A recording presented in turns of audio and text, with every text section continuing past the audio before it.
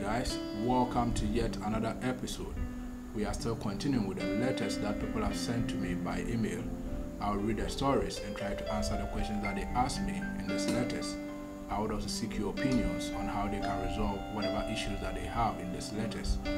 Feel free to send me a story or a letter through the email drdanimeza at gmail.com and then don't add any name to this letter or story that you sent to me.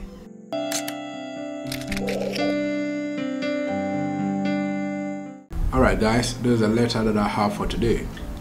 Dear Dr. Dan, I am a 22 year old university student in South Africa. I think I am getting addicted to smartphone. Even when I'm studying at home or at school, I'm not able to resist the temptation to touch my phone and use it. This is affecting my academic performance negatively, said that I get bad grades in school. I become so afraid that I will miss some trending news after a period without using my smartphone. Sometimes when I just want to check for a text message on my phone, I end up spending an hour or more on the phone. By wasting too much time on my smartphone, I'm not able to complete university assignment and I have failed one of my university courses or units even though it was an easy subject. I almost had a car accident recently because I was using my phone whilst crossing the road. All my attempts to quit the excessive use of my smartphone has failed. I spend very little time with my friends and family due to my excessive use of smartphone.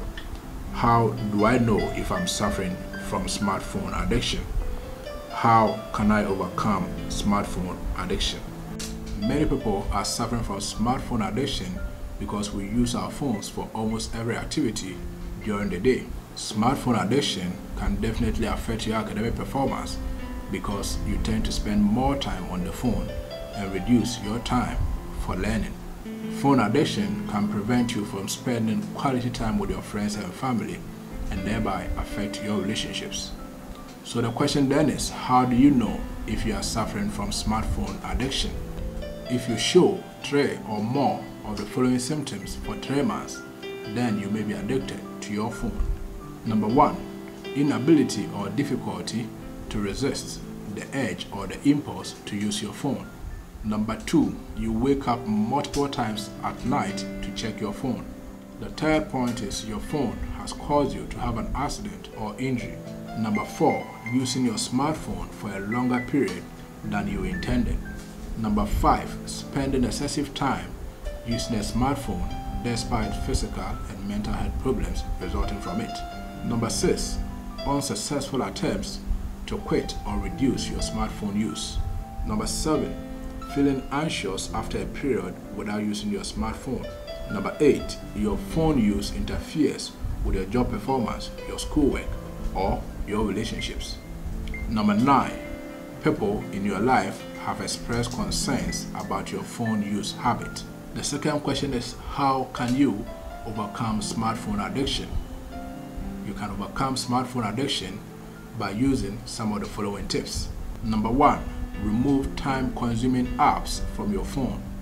Apps such as WhatsApp, Instagram, YouTube, Facebook, TikTok must be removed from your phone because we spend a lot of time every day using such apps. Number two, change your settings to eliminate push notifications from the apps on your phone. If you go to the settings part of your phone, you can change the settings set that notifications from apps such as Facebook, Instagram, YouTube would not show on your phone.